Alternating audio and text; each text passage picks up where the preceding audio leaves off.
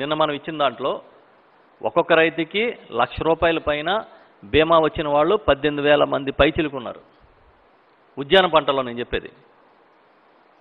తోటలు నష్టపోయి తోటల్లో కాపు నష్టపోయో లేకపోతే మొన్న వచ్చిన గాలివానలకి పోయినప్పుడు అవన్నీ అంచనా వేస్తే వచ్చిన అమౌంట్ అది.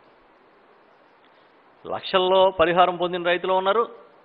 ఈల్డ్ తక్కువ ఉండి సగటు దిగుబడి తక్కువ ఉన్న ప్రాంతాల్లో తక్కువ క్లెయిమ్ వచ్చిన వాళ్ళు ఉన్నారు.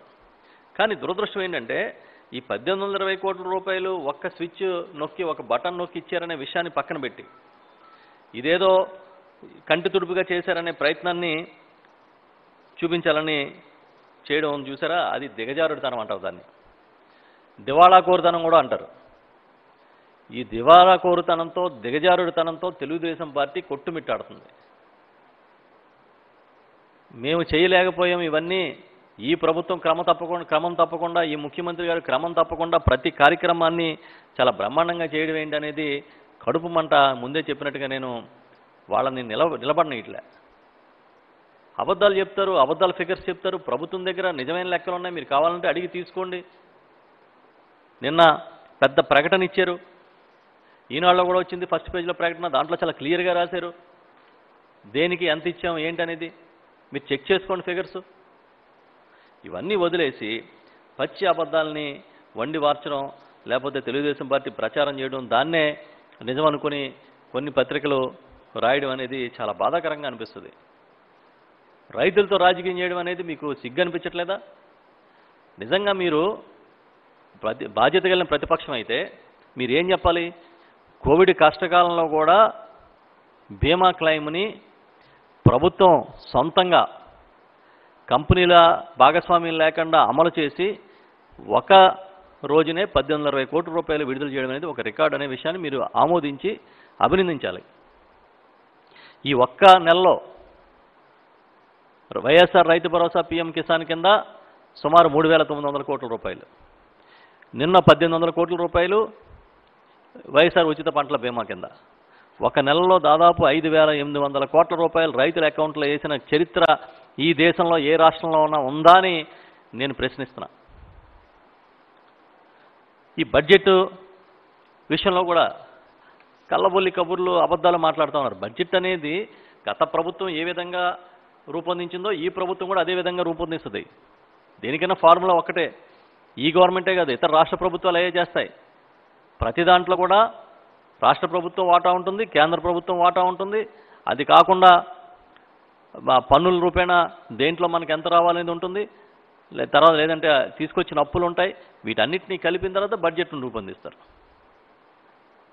కానీ వీళ్ళకి ఏంటంటే ఆ ప్రభుత్వంలో ఏదో చాలా గొప్పగా చేసినట్టుగా ఇప్పుడు చేయడం చేతగానట్టుగా ప్రచారం జరుగుతుంది.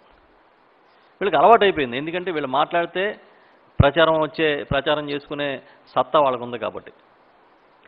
ఈరోజు పిఎం ఫసల్ బీమా యోజన పథకం అనేది కేవలం గైడ్ లైన్స్కే మనం వాడుకున్నాం.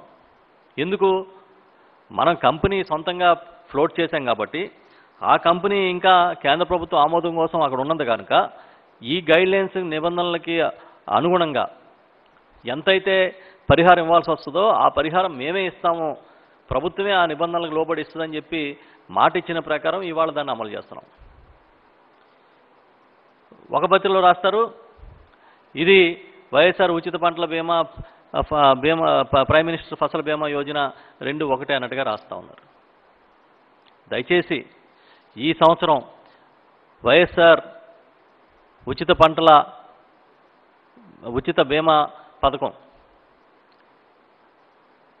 పూర్తిగా రాష్ట్ర ప్రభుత్వం నిధులతో ప్రతి రూపాయి రాష్ట్ర ప్రభుత్వం భరించి ఇచ్చిందనే విషయాన్ని స్పష్టం చేస్తున్నా. ప్రైమ్ మినిస్టర్ ఫసల్ బీమా యోజన కింద కానీ ఆ కేంద్ర ప్రభుత్వం ఇవ్వాల్సిన ఆ ప్రీ- ప్రీమియం వాటా మనం తీసుకోలేదు. కంపెనీ ఎవరో భాగస్వామి లేదు కనుక పూర్తిగా పరిహారం అంతా కూడా మనమే ఇస్తున్నామనే విషయాన్ని కూడా మరొకసారి స్పష్టంగా చెప్తూ ఉన్నా.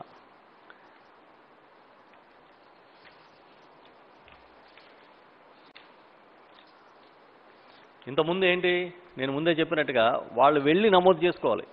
ఇవాళ పంట వేస్తే ఈ క్రాప్లో మన రైతు భరోసా కేంద్రం నుంచి వ్యవసాయ సహాయకులు వెళ్ళి నమోదు చేస్తారు.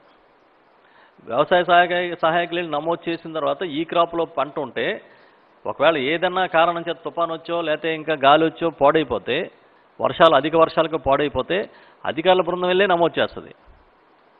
ప్లానింగ్ డిపార్ట్మెంటు అగ్రికల్చర్ డిపార్ట్మెంటు కలిపి ఆ క్రాప్ కటింగ్ ఎక్స్పెరిమెంట్స్ చేస్తారు. ఈ క్రాప్ కటింగ్ ఎక్స్పెరిమెంట్స్ చేసిన తర్వాత ఏదైతే ఆ పంట మనం వచ్చిన దిగుబడికి సగటు దిగుబడికి మధ్యలో ఉన్న గ్యాప్ ఉందో దానికే మనం పరిహారం ఇస్తూ ఉన్నాం. కానీ వక్రీకరణలు అనేది మాకు తెల్లారులేసి వీళ్ళు చేసే వక్రీకరణలు మేము సరిదిద్దుకోవడమే కార్యక్రమం పెట్టుకుంటే ఇంకే పని చేయలేం. పూర్తిగా దాన్నే నమ్ముకుని బతుకుతుంది తెలుగుదేశం పార్టీ. ఈ వక్ర బుద్ధి పోవట్లే. నేను ఒకటే చెప్పదలుచుకున్నా రైతు ఖాతాల్లో రూపాయి అవినీతి లేకుండా నాకు ఈ పరిహారం డబ్బులు ఇప్పించండి బీమా డబ్బులు ఇప్పించండి అని ఎవరి దగ్గరికి వెళ్ళి అభ్యర్థించకుండా ఎవరి దగ్గరికి వెళ్ళి ఆందోళన చేయకుండా ఒక్క స్విచ్ నొక్కితే లక్షల మంది రైతు కుటుంబాలకి డబ్బులు వెళ్ళిన చరిత్ర ఈ దేశంలో ఎక్కడా లేదు. ఆ చరిత్ర గౌరవ ముఖ్యమంత్రి జగన్మోహన్ రెడ్డి గారికి మాత్రమే దక్కిందనే విషయాన్ని చాలా స్పష్టంగా మీకు తెలియజేస్తూ ఉన్నాను.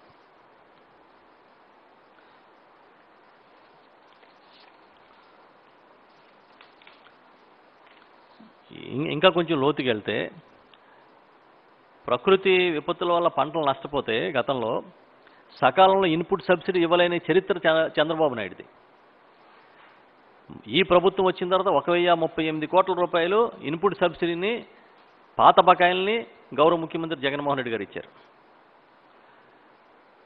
గత ప్రభుత్వం ధాన్యం సేకరణ చేసి రైతులకి తొమ్మిది వందల అరవై కోట్లు బాకీ పెడితే ఈ ప్రభుత్వం వచ్చిన తర్వాత తొమ్మిది వందల అరవై కోట్ల రూపాయలు ముఖ్యమంత్రి గారు ఇచ్చారు.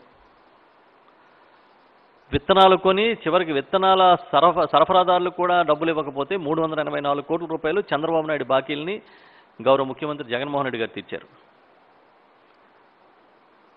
ఇవన్నీ మీ చిత్తశుద్ధికి రైతుల పట్ల మీకున్న ప్రేమకి నిదర్శనాలు ఇవన్నీ. అంత గొప్ప మనసు ఉంటే ఇన్ టైంలో మీరు ఎందుకు ఇవ్వాల్సిన డబ్బులు ఇవ్వలేదు రైతులకి? ఈ ప్రభుత్వం వచ్చి ఎందుకు ఇవ్వాల్సి వస్తుంది? ఆ రోజు వ్యవసాయానికి రైతులకి బకాయిలు పెట్టి ఈరోజు సిగ్గులేని మాటలు మాట్లాడుతూ ఉన్నారు. రైతు రుణమాఫీ ఎనభై వేల కోట్లు చేస్తామని చెప్పి పదిహేను వేల కోట్లు చేసి మళ్ళీ చివరిలో పులివేషం వేసినట్టుగా అన్నదాత సుఖీభావ అని ఒక పథకంతో వస్తే కేంద్ర ప్రభుత్వం డబ్బులు తీసుకొచ్చి అది ఇది ముడిపెట్టేది చేద్దామని ప్రయత్నం చేస్తే జనం చీకొట్టారు.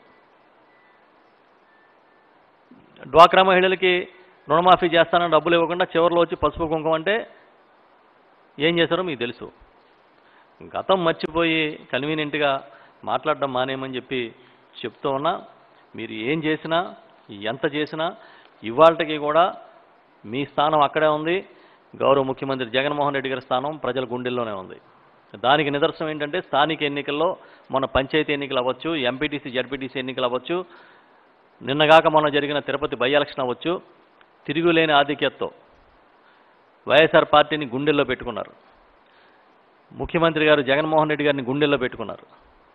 కులం చూడడం మతం చూడడం పార్టీ చూడడం మీరు వేసుకున్న కండవా చూడడం అని చెప్పి రాజకీయాలకు అతీతంగా పథకాలు అమలు చేయబట్టి వాళ్ళ ప్రజలందరూ కూడా ఒక సంతృప్తికరమైన వాతావరణంలో ఉన్నారనే విషయాన్ని మర్చిపోవద్దు.